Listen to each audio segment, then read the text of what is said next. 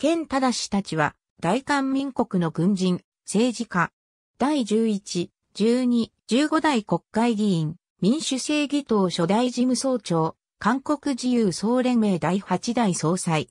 反電産業開発代表取締役社長、韓国産業銀行理事長、学校法人長春学園取締役。最終階級は陸軍准将。経営学博士。継承北道、安藤出身。安藤高校を経て、陸軍士官学校15期卒業後、4世代学校、団国大学校で、それぞれ行政修士と経営学博士号を取得。陸軍保安司令部所長補佐官、人事部長を経て、国軍保安司令部改編後の1978年、不山地域保安部隊長に就任。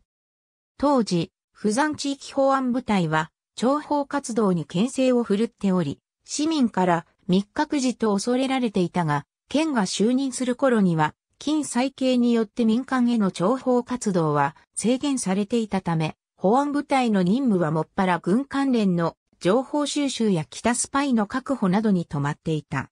そんな中、政局の緊張に伴い79年後半、大学への諜報活動を命じられる。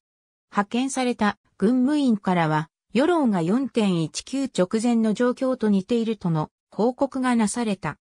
10月、釜馬民主構想が起こり、戒厳令が実施されると、戒厳司令官牧山教中将、参謀長、李はじめ広志少将の下で、合同捜査団長に任ぜられ、死刑局長李主栄、第二管区司令官、帝幸万少将と共に、事態の収集に努めた。牧世紀暗殺後は、ソウル司令部本部に戻る。祝軍クーデター後、保安司令部の情報所長として、メディア党配合と検閲を主導して、民主活動家たちを憤慨させ、公州民主化運動の永遠となり、1980年5月17日の5.17非常戒厳拡大措置に深く関与した。その後間もなく、軍服を脱ぎ、国家保衛立法会議立法議員として民主正義党結成を主導、同党初代事務総長に就任。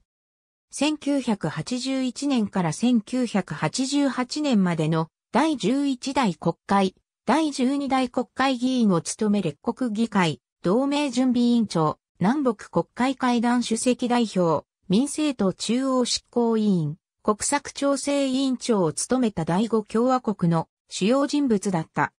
しかし、県は12.12クーデターが成功した後に、勧誘された非ハナフェ出身の将校であり、ハナフェ将校らが政界進出するまでの取り持ち役でしかなかった。そのため県は次第に政界で孤立し、朝礼子夫婦手形詐欺事件が起こると責任を負い、当事務総長の座を退く。1983年、大海航空機撃墜事件で当時19歳の中央大将1年生だった娘を失う。ロ大具政府発足後、13代総選挙に立候補するも落選。その後、米国留学の道に上がったが、1993年、民政党議員で WTO-STEP 財団理事長、宮古栄信と再婚した。以来、米国研修を経て、政界周辺部に滞在した後、前途間のクーデター過程について詳細に証言するなど、金ヨンサム政府の歴史追及に協力する。15代総選挙に無所属で当選した後、新韓国党に入党した。この時、自身もマスコミ党配合を主導した疑いで告発されるも、五強中心人物の中で唯一無権利処分となった。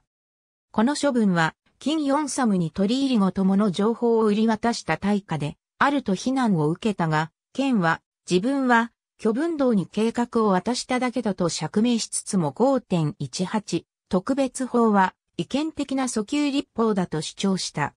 1998年、新韓国党が半奈良党になった後、総裁選挙戦で李官東を支持。李が敗北すると李党、近代中の新しい政治国民会議に入党した。新千年民主党公認で16代総選挙に出馬したが落選。2001年から保守団体である韓国自由総連盟総裁を2009年まで務めた。現在が海別神区仮面劇の第三代保存会理事長と安藤科学大学理事を務めており、2013年2月20日、安藤聖域病院理事長にも選任された。息子は19代総選挙で、セヌリ党の比例代表24番イジェ4、国会議員、娘は CNN 副社長、エレーナ・リーである。